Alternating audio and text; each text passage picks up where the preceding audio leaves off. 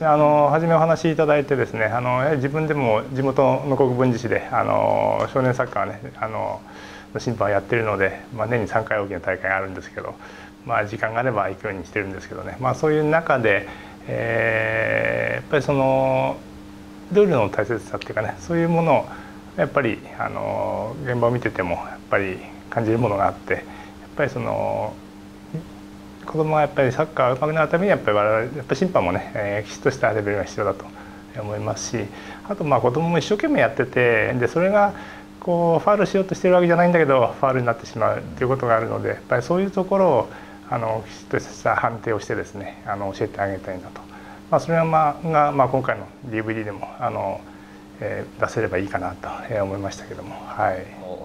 自分の子供が、えーまあ、小学校でサッカーもしてますし、まあ、そういう関係で試合を見ることはよくありましてまあ試合見てると、まあ、今岡田さんがおっしゃったように反則しようと思ってやってるわけではないんですけどもやっぱりちょっとずつこう